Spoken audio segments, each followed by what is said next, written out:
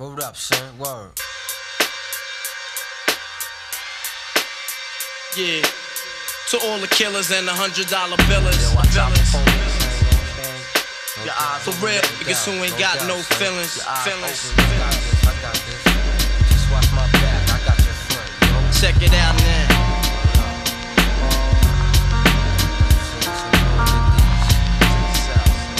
I got you stuck off the realness. We be the infamous. You heard? building muscle.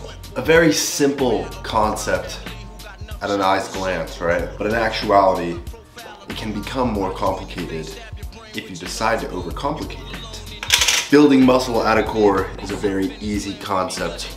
Break the muscle down, repair the muscle, grow muscle. That's pretty much it. Through my years of learning how to grow and build my muscles, I've gone back and forth between different training styles in the goal of perfecting my endeavor to build said muscle. The last couple of years, my training has been more so based around isolation movements, using anatomical advantages, targeting certain muscle groups, all these kinds of familiar concepts to you. And while most of these pretty much still should apply to your training regimen, there's a factor that a lot of people seem to switch on and off between, me being one of those people, and that is pure, unadulterated intensity. When I first started lifting, my first months were based solely around the three big compounds, squat, bench, and deadlift. Now, I have dwindled from these three compounds in the last couple years since my endeavors have switched from a power lifter style to more bodybuilder style training. And while my physique has most definitely improved since I have stopped doing those, I feel like quality of the tissue that I put on is missing out on the texture, the quality, the look that those three heavy compounds bring. And while I won't be doing exactly those three specifically, the flat bench, the barbell squat, and the barbell deadlift, I will be incorporating familiar movements that I did focus on more in the past in the goal of just packing on raw, dense muscle tissue. Because at the end of the day, the high intensity, heavy weight lifting is really what builds that thick tissue. And me and my future goals require me to have said thick, dense tissue. So starting today, we are going back to the roots, but we're instilling an old school bodybuilder style of training. I'm very excited to do this. What does this include, Dominic? What do you mean, old school bodybuilder style training? Well, you have to see in today's workout, but to essentially sum it up, we're gonna be incorporating some heavy ass compounds, and we're basically just gonna get fucking huge. Like I mentioned in the last video, I don't have a competition set for the rest of this year, which means that we are solely in grow time. Now, given my current scenario of me being in a gut restoration phase, a health phase if you call it, my carbs are super low, all of my food is from fats and protein pretty much, except the pre post workout. Uh, so recovery in that aspect is gonna be a little bit dwindled. So I'm taking this time here while I prep for another off-season push essentially to get my body familiarized with these movements that I'm going to dub as new, but I have done in the past. The main ones that I'm gonna be really focusing on, really heavy rows, barbell rows, T-bar rows, any kind of row that you can think of. A very heavy kind of press, more so leaning in the tendency of a flat Smith machine and incline barbell press. And for legs, we're pretty much sticking with the same, any kind of heavy squatting movement. I've been really loving my pendulum squat lately, but we'll switch between a pit shark, which is a belt squat, a leg press, maybe a hack squat here and there. And essentially, I'm gonna be structuring my training around those three movements and just progressively overloading each week. Now, in terms of reps and set schemes, we're just gonna say simple, old Mentzer style, one to two sets, one really, really heavy, six to eight, higher intensity, lower reps. Back off set, a little bit higher reps, still pretty high intensity, going to failure on both of these sets. And that's pretty much how it's just gonna be. We'll incorporate things like drop sets and rest pause sets here and there. Typically for muscles like arms, we're gonna be sticking with higher volume. The whole goal of this new training adaptation is to just go heavy as hell with good form, not risking for injury, but we need to go heavier. My training has been too conservative lately, and I'm really sick of it and pretty bored of it. So we're going back to the roots, the things that packed on the most amount of muscle for me in the beginning of my training. Now I'm gonna capitalize on those factors of me having the experience of how to do set movements correctly. And we're just gonna get huge with some big numbers. Now that our training is gonna be amped up that much more with the heavier weights, our supplementation in the form of pre-workout needs to be amplified a little bit more. Good thing we now have Euphoria to do this. Today's combo, the standard two and two. Two stim, two pump, all you really need. My new policy for pre-workout timing has changed a little bit in the last couple of months. Instead of drinking it like on the way to the gym, I now pretty much drink it at my house because the gym is pretty much a 15 minute drive from here, give or take. By that time, I find that the pre-workout is like semi-saturated into my system and by the time it's saturated for 30 minutes, which is around the time I would be done with my warm-ups and ready to start my actual workout with working sets, it's fully saturated and I'm ready to go. Inventory, three ice cubes. Code DOM for 15% off of all Euphoria products and future products that are coming. Now that we are situated and ready to start getting ready for our workout, I want to do a little bit of a talk segment here about some things that I've been thinking of lately. Let's talk content really quickly. I've been MIA from YouTube for a while. That has changed. I've posted two videos before this one. So we're going to pretty much aim for at least at the very bare possible minimum, one video a week. Two is the likely range that it will fall. Possibly three if I find the time for it, three videos a week. I'm just gonna try to pump out good quality content. And this pretty much stems across all my social media platforms. YouTube, here, TikTok, daily Instagrams. I pretty much do that already. And I've been posting a lot on Snapchat. So I'll have the information for all of this stuff in the description. It's pretty much just my name across all the platforms if you are interested to keep up to date and see what I do, how I do things, and what we're gonna be doing in the future feel free to go ahead. But the recent drive and motivation for this has really stemmed from the first quarter, because I guess it's I guess we're at the end of the quarter for this year. I don't really know. May, maybe the first half of this year I would call it. First half of this year, my whole life pretty much took a complete 180 into the other direction of where I thought it was going to be going. I was in a prep since January for a bodybuilding competition, and now looking back on it and reflecting on it, I really went into it with the wrong mindset and the mindset that I was trying to avoid, ironically. I essentially just identified myself as a bodybuilder and forgot who I was at the core, who Dominic Gallina is, the person aside from the bodybuilder. I got so obsessed with the lifestyle that I neglected the things that I fell in love with the most first, which is content creation, video creation, photography, editing, connecting with people, all of these kinds of things. I haven't been traveling as much. I haven't seen a lot of my fitness friends as much as I would like to. And I just fell into a rut where I was so isolated and I forced myself into this isolation and I found comfort in it because, you know, I would justify all of the impulsive thoughts that I was feeling uh, by the fact that I was just alone. So being in isolation for so long and not connecting with people who are, one, around my niche, two, who are greater in their endeavors than I am, it made me feel very alone and, and very demoralized and very unmotivated and I didn't want to do anything. And really in the last couple weeks, it's all just kind of flipped upside down. And um, I'm back to where I felt originally when I first started lifting. I, I'm falling in love with training all over again. I'm falling in love with content creation again. With no competitions being set in mind, I'm still working towards a long-term goal. You know, I thought that the bodybuilding competition was pretty much my only goal and that was the only thing that mattered, but it's so much greater than that.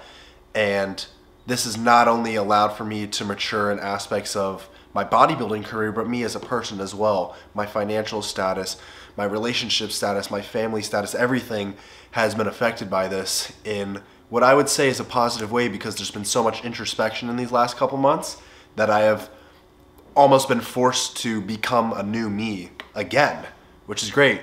We're always evolving. We're just like fucking, we're just like a Pokemon. We're always evolving. We're in the fifth stage evolution, even though that doesn't even exist. We're going to the fucking mega evolution. So essentially to sum it all up, expect a lot more from me in terms of content wise, putting myself out there. I'm really gonna start taking this seriously like I did in the beginning again when I just had a burning fire every day to wake up, lift, create content, and enjoy my life.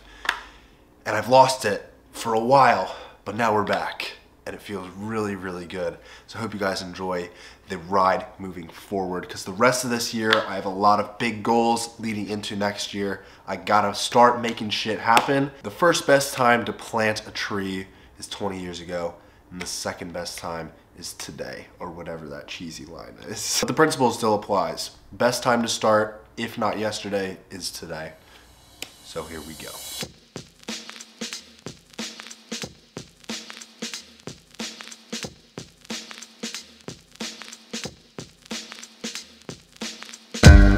sound.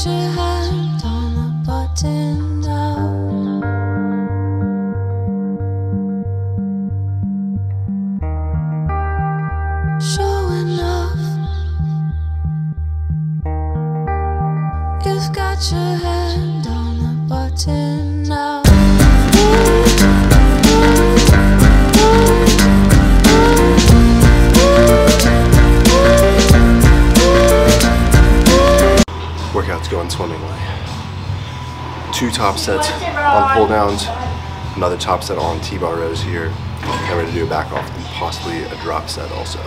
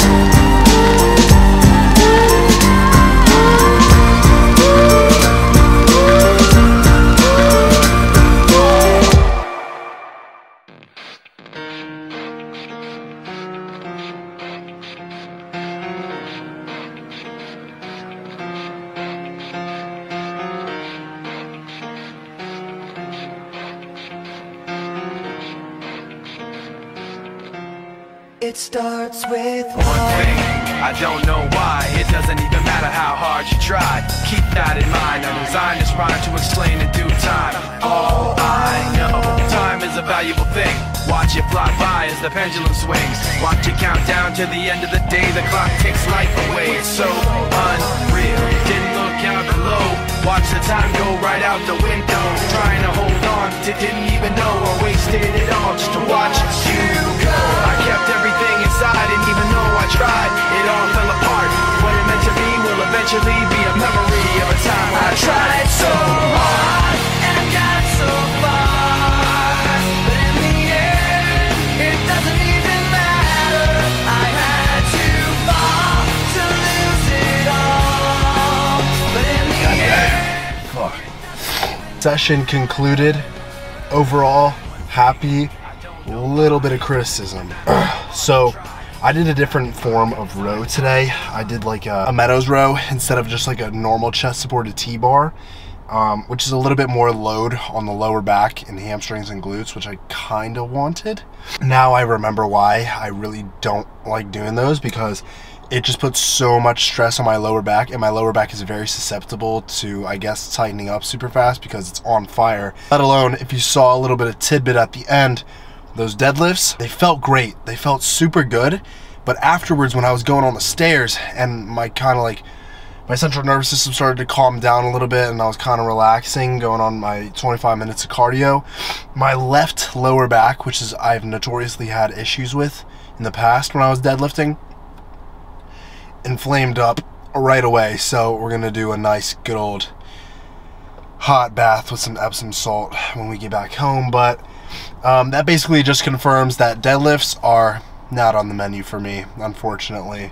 I just can't. I feel like it's too taxing on me. One, uh, which I could definitely get around later on as I get more conditioned to it, but it just puts my lower back at such a risk that I would rather get more out of like a chest supported T-bar row or a one arm dumbbell row than doing like a deadlift or something kind of like that. And to substitute for like a hip hinge movement, I'm just going to continue to do like RDLs occasionally on my leg days. Barbell and dumbbell, I don't really care. I don't I don't really have any issues with those, which is strange. Deadlifts are just something something about getting off the floor. I Don't really know why. Yeah, that pretty much concludes the workout. Finished up with some biceps. Didn't really film that much because I was just so locked in. But I'm really liking the new style of training. It's pretty much just one, two sets on everything. I was experimenting with some high volume for the last couple months, and I just found that it just burnt me out so much. And I mean high volume on like pretty much everything. And I'm pretty much just gonna stick one, two sets on most stuff. Arms are gonna get higher volume. Some accessories like like cable pullovers, like stuff towards the end of the workout will fluff up a little bit with some higher volume incorporate some set schemes like drop sets and rest pauses, but for the most part, it's pretty much just going to stay high intensity, low volume because I feel like that's what has just transformed my physique the most. End of the meathead footage. Let's go home and recover now. Where'd he go? There he is. Asher. this is literally what he does every time he sees us come home. He either goes in that window or in this little window. It's actually kind of scary looking. I had to make a quick pit stop to pick up my favorite thing on the earth. Apple cider vinegar. In my gut restoration protocol plan, essentially what we're trying to do is increase my stomach acid levels because my stomach acid levels are just basically in the shitter. So I'm taking a supplement called betaine hydrochloride which is a stomach acid support supplement. But I'm also taking tablespoon of apple cider vinegar before every single meal. And I'm telling you, I literally got a bottle maybe a week and a half ago and destroyed it. So we're on to bottle number two now. And this is a big one also. Fucking sucks. This is probably the most sucky part. I can do like supplements at certain times and shit. But this, sometimes it just burns so badly. And other times I'm like unaffected. But if you guys are looking to improve your digestion, a tablespoon of this just one time in the morning fasted uh, before a meal is the way to go. You will definitely see results if you implement this and a couple other things as well. I am starving. Look at my dog. Hi. What are you doing in the window? Creepy. We're uh we're in the process of fixing this. Are you fucking kidding me? I broke it? No, I just bought these lances. Oh, wait. Oh. Oh, no. Oh, God, the needle is sticking out now. This is nursing 101. They don't teach you this in school. God damn it. Sugar motherfucker. I just bought all this stuff for like $20. Gotta be careful there, buddy. No, Dominic! Is that crazy?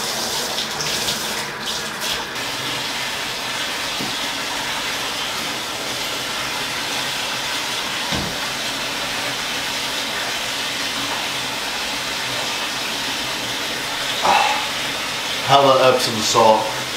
Pink salt, Epsom salt.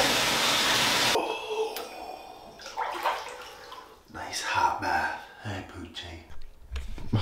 You dropped the camera and broke the LCD screen. No, I did not. You did. I didn't drop it.